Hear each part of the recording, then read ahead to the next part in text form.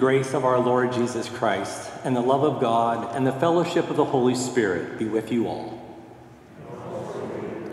Good morning. It is a joy to welcome you to St. Paul's Cathedral on this, the last Sunday after Pentecost, as we celebrate the reign of Christ the King. Please be seated for a few announcements. A warm welcome to those of you who are visiting and those of you who are joining us online. Thank you to the cathedral staff and volunteers who continue to work hard to prepare this sacred space for in person worship and keeping everyone safe. Please call the dean or the church office if you have any questions or concerns and, and continue to stay in touch. We continue to be responsive and as responsible as possible during this during these anxious days.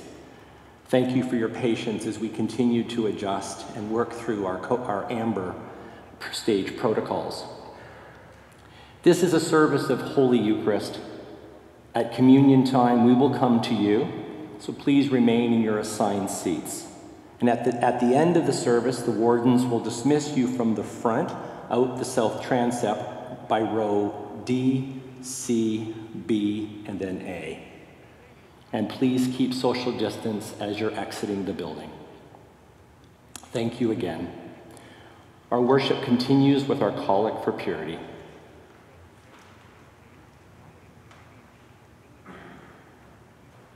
Almighty God, to you all hearts are open, all desires known, and from you no secrets are hidden. Cleanse the thoughts of our hearts by the inspiration of your Holy Spirit that we may perfectly love you and worthily magnify your holy name through Christ our Lord. Amen. Lord, have mercy. Christ, have mercy. Lord, have mercy. Let us pray. Almighty and everlasting God, whose will it is to restore all things in your well beloved Son, our Lord and King Grant that the peoples of the earth, now divided and enslaved by sin, may be freed and brought together under his gentle and loving rule, who lives and reigns with you in the Holy Spirit, one God, now and forever.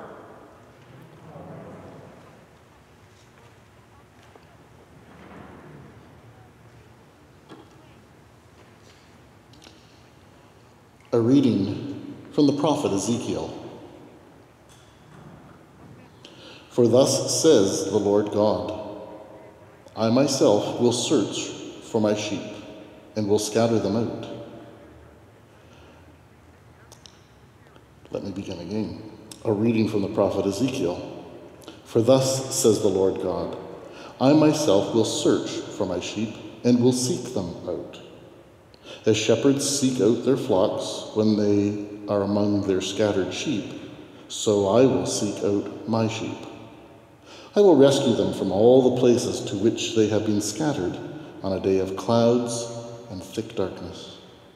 I will bring them out from the peoples and gather them from the countries and bring them into their own land. And I will feed them on the mountains of Israel, by the watercourses, and in all the inhabited parts of the land. I will feed them with good pasture, and the mountain heights of Israel shall be their pasture. There they shall lie down in good grazing land, and they shall feed on rich pasture on the mountains of Israel. I myself will be the shepherd of my sheep, and I will make them lie down, says the Lord God.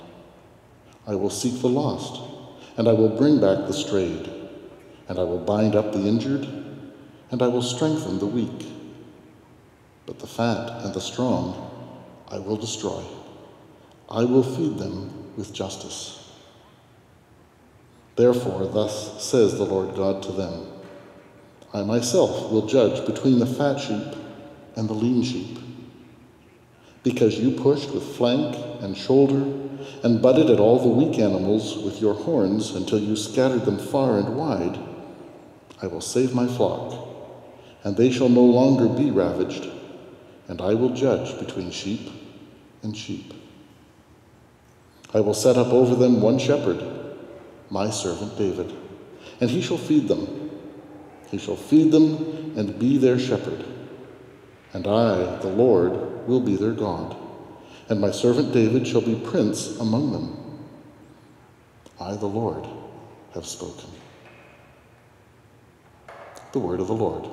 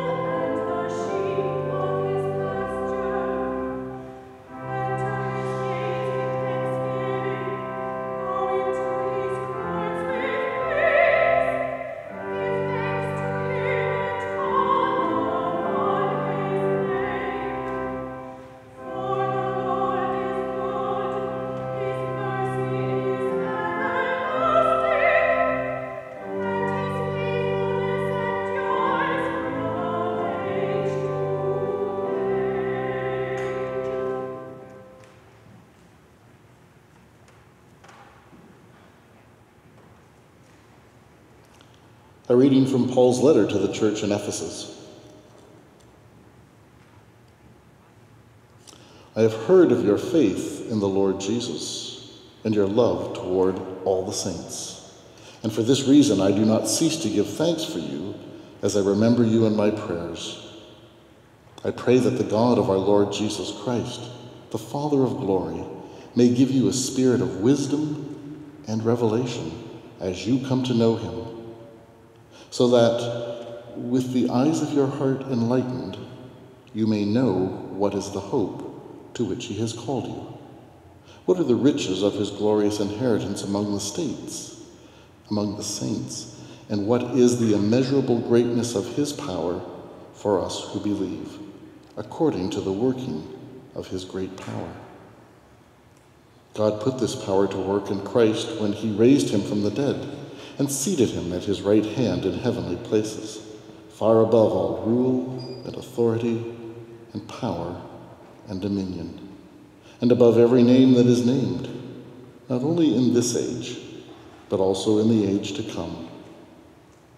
And he has put all things under his feet, and has made him the head over all things for the church, which is his body, the fullness of him who fills all in all. The word of the Lord. Thanks be to God.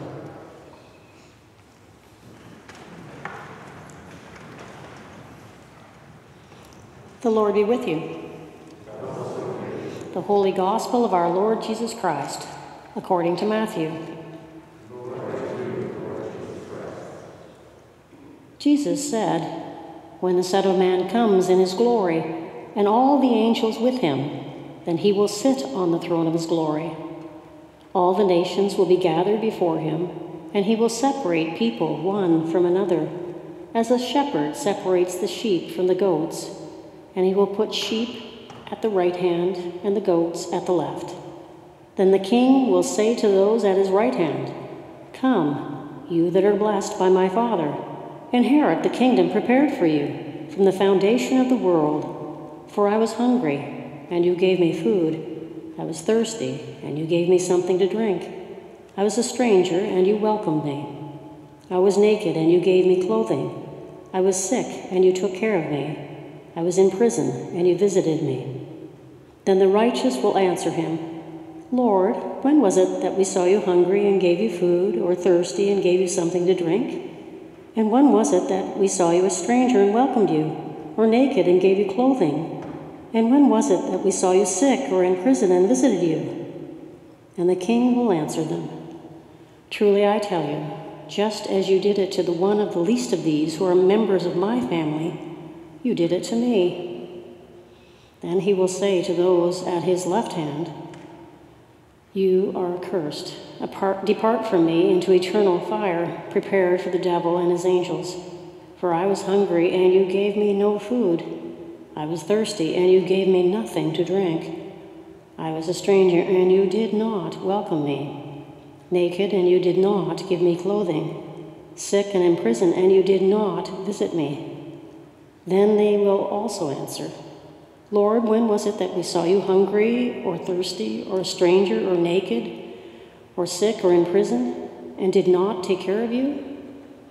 Then he will answer them Truly I tell you, just as you did not do it to the least of these, you did not do it to me.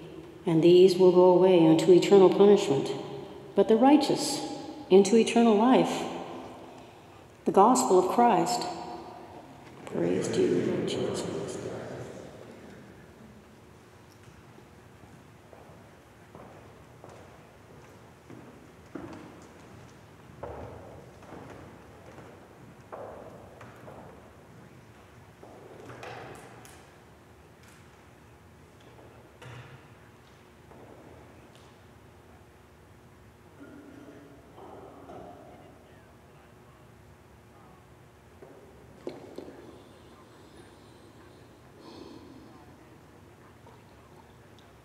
May only the truth be spoken, only the truth heard and understood in the name of God, Father, Son, and Holy Spirit. Amen.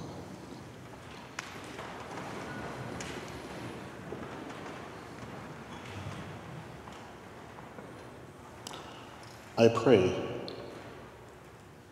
that the God of our Lord Jesus Christ, the Father of glory, may give you a spirit of wisdom revelation as you come to know him, so that with the eyes of your heart enlightened, you may know what is the hope to which he has called you, what are the riches of his glorious inheritance among the saints. This week, the fourth season of The Crown was released that made for TV series which chronicles the life and family of Queen Elizabeth II.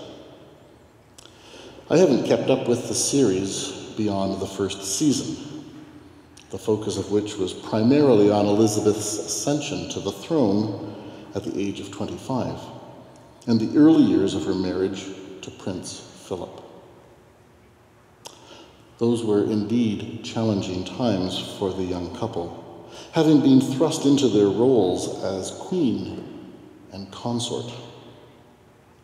The show portrayed that it was especially hard for Philip, who was quoted as saying, Am I to be the only man in the country whose wife and children have not taken my name? Perhaps the most telling quote, whether it's factual or not, is uttered by the Duke of Edinburgh in anger and absolute frustration when he said, I am currently outranked by my eight year old son. Ego is a big thing, it's a very human thing. In the right balance, it is necessary for our well being and certainly for our self esteem. Out of balance, however, it can be calamitous, as we have witnessed in the current political crisis in the US. But the chaos that we have witnessed being played out in Washington is but one example in the long, storied history of God's people. A history in which those whose ego has been allowed to run amok seize power and control which they then use to the detriment of those under them, and most always for the sole purpose of maintaining and perpetuating that power and control. God, speaking through the prophetic voice of Ezekiel, calls out those Babylonian kings who were abusing those under their authority, and most especially those now living in exile. Although Ezekiel uses the term shepherd, we understand and interpret it to mean king. Those who have been abused, Ezekiel writes, God, the shepherd, the king, will gather and feed, heal and strengthen. And the evil kings, those that he names the fat and the strong, I will destroy, God says. I will feed them with justice. These prophetic words are echoed in Matthew's Gospel, as we heard Pat offer it this morning. The sheep cared for, restored. The goats, the goats receive eternal punishment. The two passages mirror one another. They are similar in so many ways, perhaps with one notable exception. In the Old Testament passage, the prophetic words of Ezekiel, God, the King, is doing the gathering, the feeding, the healing. Whereas in Matthew's Gospel, it is the sheep who are doing the kingdom work. Here again, Jesus' invitation Come, you that are blessed by my Father, inherit the kingdom prepared for you from the foundation of the world. Inherit the kingdom. A kingdom, a realm in which none of us are outranked. For this kingdom isn't about ego. This kingdom isn't about entitlement, and it certainly isn't about accumulation. As inheritors of the reign of Christ, this realm demands of us that we gather and feed, heal, and strengthen all who are in our midst, regardless of age or gender, race or color, sexual orientation, socioeconomic status, indigenous or settler. This past week marked Transgender Awareness Week a time when we recognize and affirm those persons who have a gender identity or expression that differs from the sex they were assigned at birth. And while perhaps not all of us certainly can relate, we are called to encourage and to celebrate those in our midst who, like us, have been created in the likeness and image of God the God who loves us all and wants nothing more than for us to love those around us. And therein, therein lies the beauty of this realm, the reign of Christ. For you and I are inheritors. We are invited, as Paul reminds us, with the eyes of our heart enlightened and empowered by God's Spirit to do the work of the kingdom as hard, as troubling, as frightening as that often can seem. And so, as we draw this church year to its conclusion on this last Sunday of Pentecost, as we look ahead to those days of waiting to celebrate anew the incarnation of the one who came to be the light of the world, we know as inheritors of that kingdom, that we too are to be light. And so let me leave you once again with this prayer that I have left you with a few times now this fall. From the work of L.R. Knost, an award winning author and social justice activist. As we celebrate that we are indeed inheritors of the reign of Christ and that we have been called to be light and to do the kingdom work. I pray that you will not be dismayed by the brokenness of the world. All things break, and all things can be mended. Not with time, as they say, but with intention. So go. Love intentionally, extravagantly, unconditionally.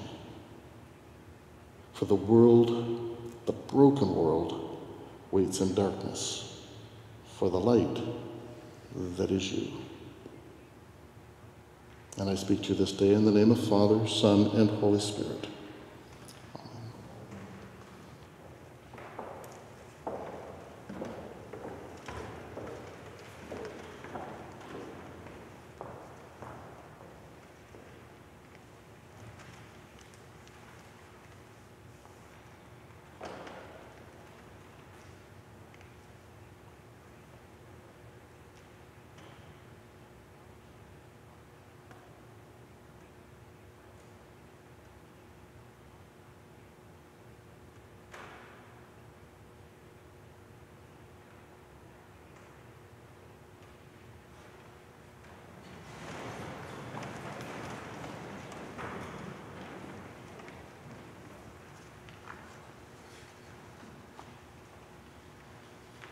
Let us confess our faith as we say.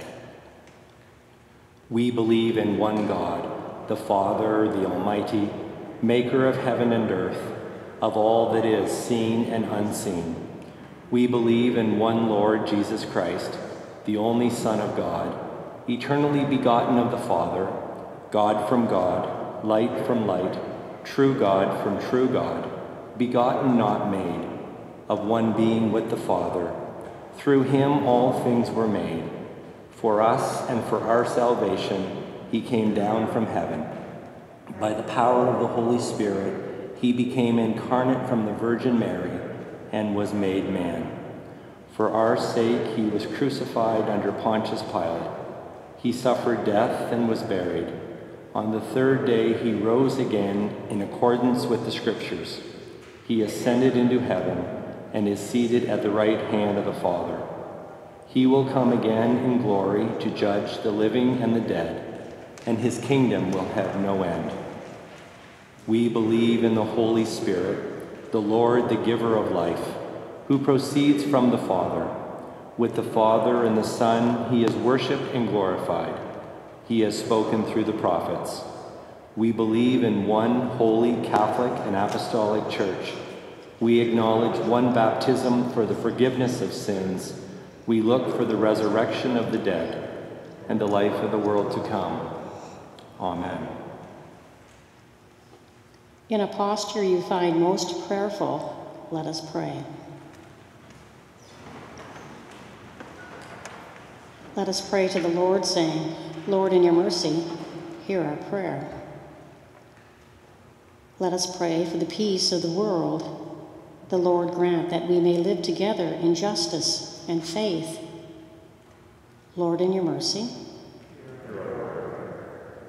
Let us pray for this country, and especially for Queen Elizabeth, the Governor General and Prime Minister, the G20 leaders, and all in authority. The Lord help them to serve this people according to his holy will. Lord, in your mercy. Let us pray for the sick in long term care and those on our intercession list Christina, Pansy, Roland and family, Ethan and Sarah, Mary, John, Jamie and Mavie, Chandra and family, Maisie, Scotty and Dottie, Eve and Bill, Debbie, Gemma and family, Helen, for those suffering from the coronavirus and for those caring for them, and for those businesses and churches in shutdown during this pandemic. The Lord deliver them and keep them in his love. Lord, in your mercy. On this day on which we remember those who identify as being transgendered, let us pray for those who are discerning, those who have been victims, and those who live in fear. The Lord support them and keep them steadfast. Lord, in your mercy. We remember the prophets, apostles, martyrs, and all who have borne witness to the gospel. The, the Lord direct our lives and the lives of the newly ordained in the same spirit of service and sacrifice. Lord, in your mercy.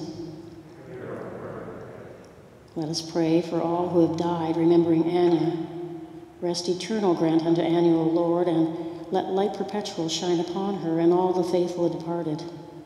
And let us pray for all who knew and loved her, most especially the Reverend Andreas Thiel and family. May the Lord grant them peace. Amen.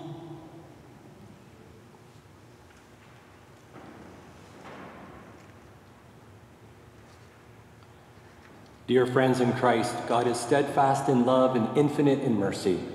God welcomes sinners and invites them to this table. Let us confess our sins, confident in God's forgiveness.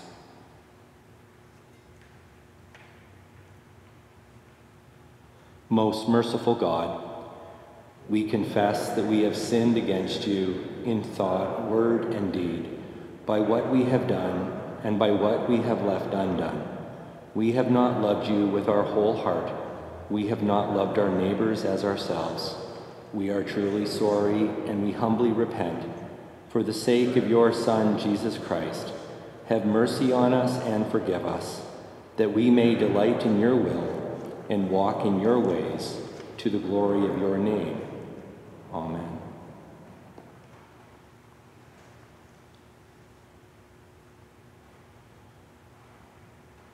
Almighty God, have mercy upon you, pardon and deliver you from all your sins, confirm and strengthen you in all goodness, and keep you in eternal life. Through Jesus Christ our Lord. Amen. I invite you to please stand. My sisters and brothers in Christ, may the peace of the Lord be always with you. Keeping social distance, I invite you to share that peace with one another.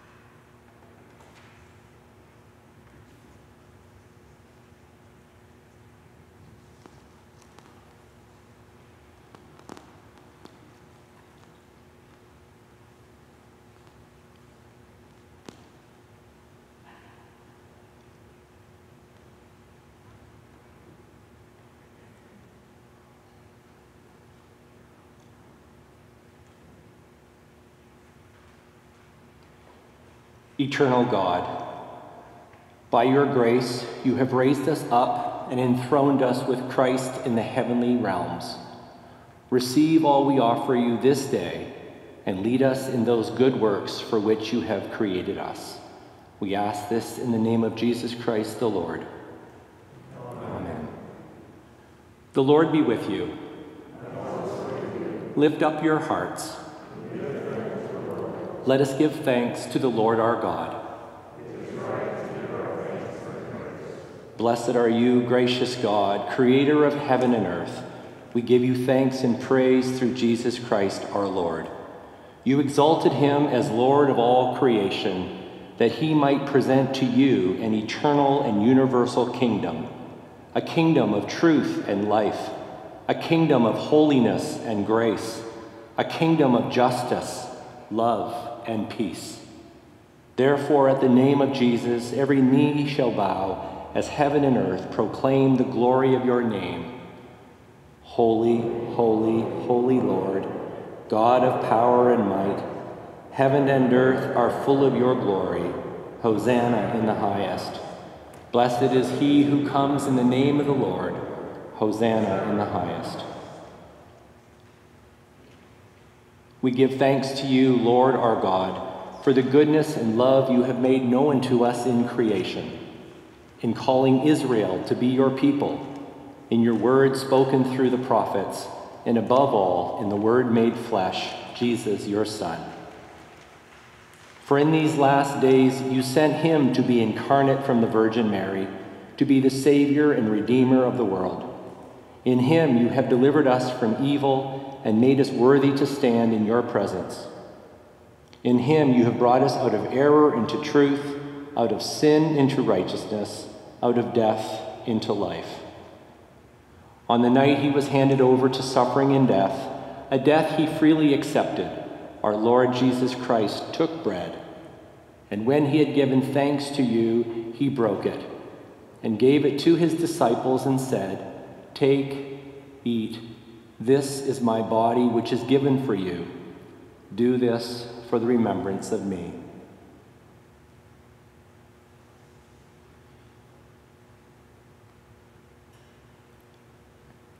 After supper, he took the cup of wine, and when he had given thanks, he gave it to them and said, Drink this, all of you. This is my blood of the new covenant, which is shed for you and for many for the forgiveness of sins. Whenever you drink it, do this for the remembrance of me.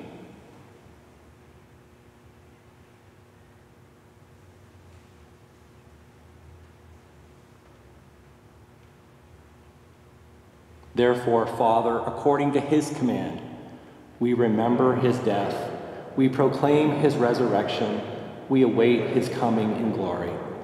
And we offer our sacrifice of praise and thanksgiving to you, Lord of all, presenting to you from your creation this bread and this wine. We pray you, gracious God, to send your Holy Spirit upon these gifts, that they may be the sacrament of the body of Christ and his blood of the new covenant. Unite us to your Son in his sacrifice, that we, made acceptable in him, may be sanctified by the Holy Spirit. In the fullness of time, reconcile all things in Christ and make them new, and bring us to that city of light where you dwell with all your sons and daughters, through Jesus Christ our Lord, the firstborn of all creation, the head of the church and the author of our salvation, by whom and with whom and in whom, in the unity of the Holy Spirit, all honor and glory are yours, Almighty Father, now and forever.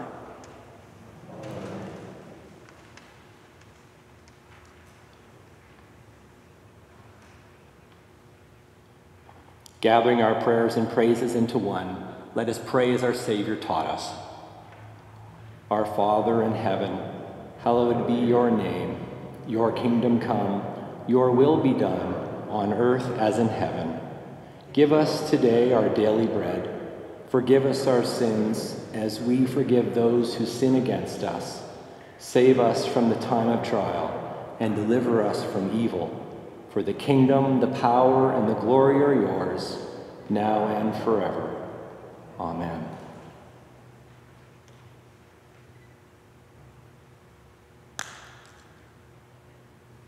We break this bread to share in the body of Christ.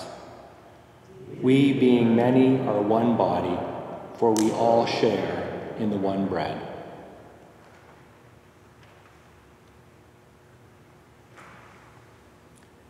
The gifts of God for the people of God.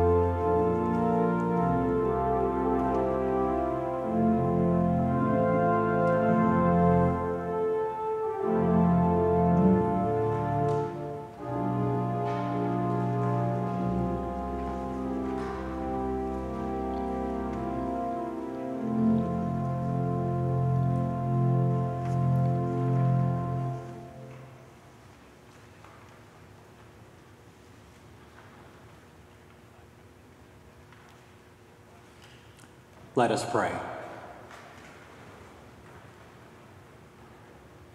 Almighty God, you have made us a royal priesthood in the kingdom of your Son, our Savior Jesus Christ. Make known his victory through us, we pray, that all the world may see his light. We ask this in the name of Jesus Christ the Lord. Glory to God, whose power working in us can do infinitely more than we can ask or imagine. Glory to God from generation to generation in the church and in Christ Jesus, forever and ever. Amen.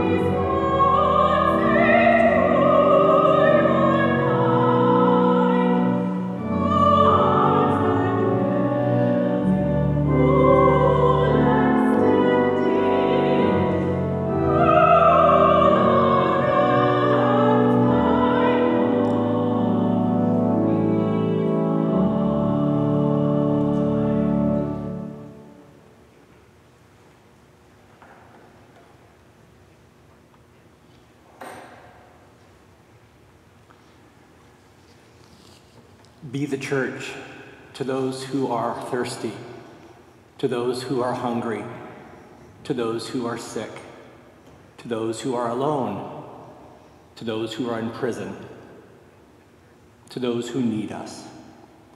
And the blessing of God Almighty, the Father, the Son, and the Holy Spirit be upon you and remain with you this day and forevermore. Amen. My brothers and sisters in Christ, do the work of the kingdom as you go in peace to love and serve the Lord.